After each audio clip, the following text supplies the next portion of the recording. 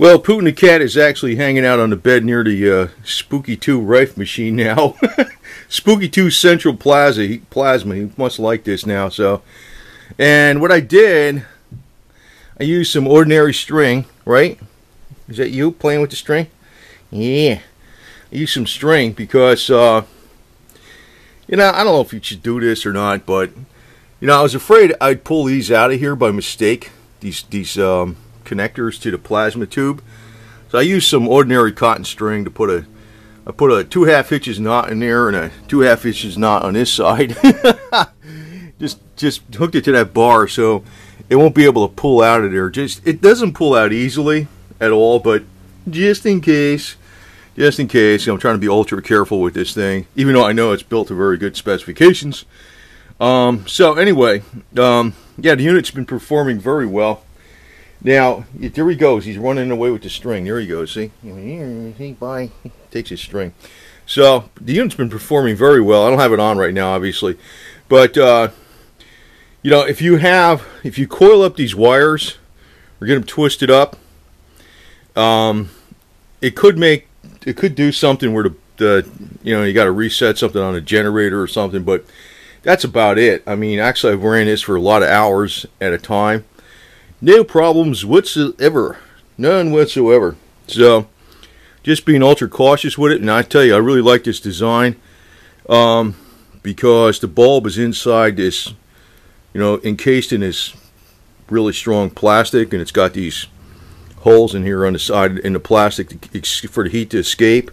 So you're not really touching the bulb, and it's like the you know the bulb itself is glass. This stuff is a lot stronger. I mean, it's not like you know I mean, I guess it's possible to break it, but you're not going to break it under normal circumstances. Now, the thing is, uh, um, also been looking at some other frequencies possibly to be used, and uh, you know, I might even order a, a rabies set for the cat because just in case. Um, I think it's a site called DNA Frequencies. There's a Charlene that runs it. She's got some kind of mathematical equation.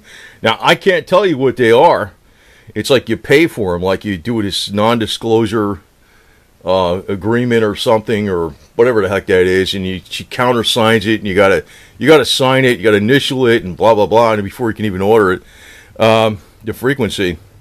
But uh, I think that. Mm, from what I heard about her work, I heard it's really great. So I'm thinking about getting um, and uh, um, she actually sells a rabies frequency set. Now it's it's done as experimental, okay, but I heard so much good feedback from her, and uh, I'm not sure if this unit though. Uh, what I'm going to find out though is like, is it does it work with hundred thousand and above? You know what the frequency sets are, but that's another idea to use this unit with. Uh, is maybe some of her sets, uh, sets, um, and maybe I don't know, maybe somebody could, you know, if the if the frequency said fifty thousand, for example, you know, is what you're supposed to apply, and you know, the Spooky Central Rife machine is supposed to be hundred thousand to three and a half million.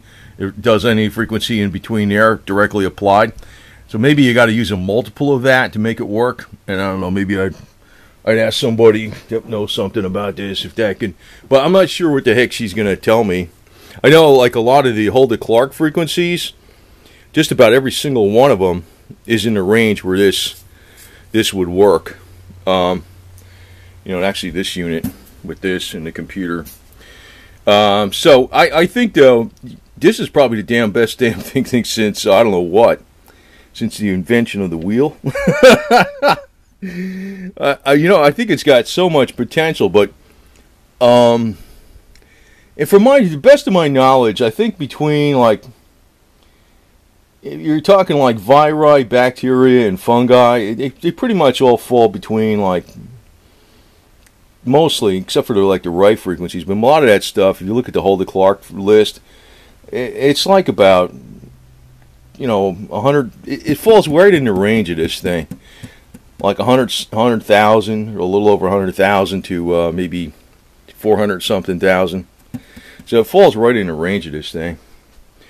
Um, this thing's got a slew of promise. So I don't know. The cat seems to like to freaking hang out by this thing now. He's hanging out by the other thing, the remote now, Just Putin, though. Putin the cat. Putin's the wise one. He's the leader. He's the leader of the three three cats over here. So anyway, I figured I'd tell you. You know, I'm doing stupid things like this. I just put some string on here because I figured I don't want this pulling out by accident. You know, if you're using it, you know, say you you pull it and you decide, you know, I want to use it on another part of your body, and you you pull it this way and you pull it too hard and you're not paying attention. I just did that as a precaution. Simple, stupid stuff, you know. Like I said, that's that's it. That's my that's my engineering, right? This string. but hey, you know, it's not a bad idea, even even at that.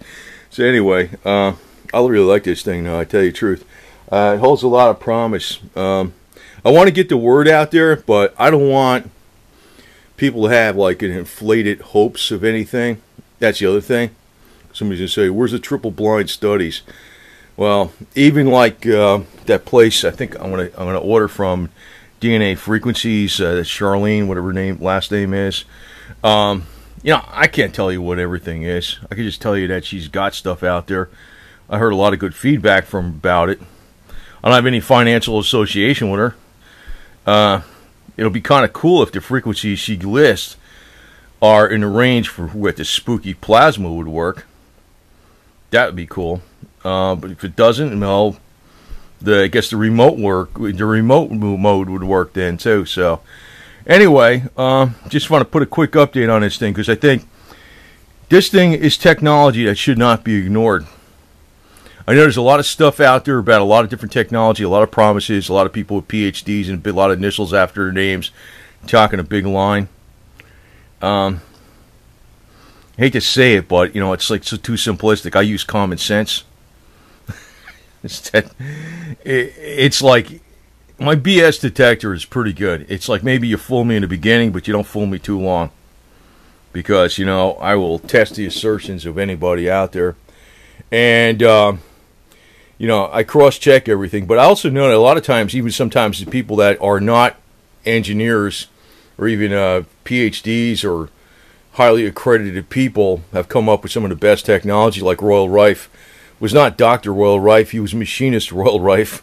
He was a machinist. He was a machinist that uh, he was set up by a wealthy man that was he worked for, and the wealthy man said, "You know, what do you really want to pursue in life?" And he was a machinist, and uh, he wanted to uh, perfect a microscope that can see pathogens smaller than a particle of light, and he did that by splitting a light into uh, pieces, like refracting a light into its different uh, hues, like the violet, the red, the yellow, the, the, the green, and all that. And it gave him an idea of what the uh, pathogen frequency was at. Uh, then he tried, you know, he made this beam ray to uh, try to shatter the pathogens. Actually, nobody really knows exactly how it works. Nobody actually knows exactly how this stuff works. Because even like you're dealing with uh, Ebola virus, you know, I don't know if they got frequencies for that, but um, if you're dealing with something like that, you know, a virus does not really is not alive like a cell. It's different. It's got this lipid cell wall membrane, like um, coconut oil destroys the lipid cell wall membrane of any virus. But the problem is, you know, it doesn't get. You know, it works great in a freaking petri dish. So, you know, I mean, I don't know well it works in a body, but it does help a little bit in the body. But um, I'm not really sure exactly, you know, I don't think anybody's 100% sure exactly how this technology really does work. It's just that, um, you know, unfortunately, for as much stuff out there that's true, there's probably 10 times as much stuff, or maybe even 100 times stuff that's out there that's not true. But uh, in my uh, my humble opinion, this is actually the truth here when you're talking about uh, the Spooky Central and uh, the Hulda Clark frequency set is great too. I think that's a great set. Uh, I'm gonna look at. Well, I'd like to get that rabies set for the cats uh, from Charlene at DNA Frequencies. Uh, but I heard a lot of good stuff about her. Now the cat's got rabies shots, except for one. He's got to get get his yet, and uh, but I want a backup plan because you, they're not going to happen to him. Ain't nothing going to happen to you, right? We nothing to happen to you. Wee wee wee. you don't go outside. you don't even go outside, do you? Huh? You don't even go outside. I don't know how you're going to get a freaking bit by a rabid animal but you don't even go outside ever. Goofball. So anyway, that's Rocky. So anyway, that's just a quick update on this stuff. I really do think this thing is fantastic. I just hope they can keep up production and get them out there. And uh, you know, the only thing that worries me is uh, EMP protection. I'd like to, I don't know, shield this thing somehow, but you know, there's always something, right? There's always something.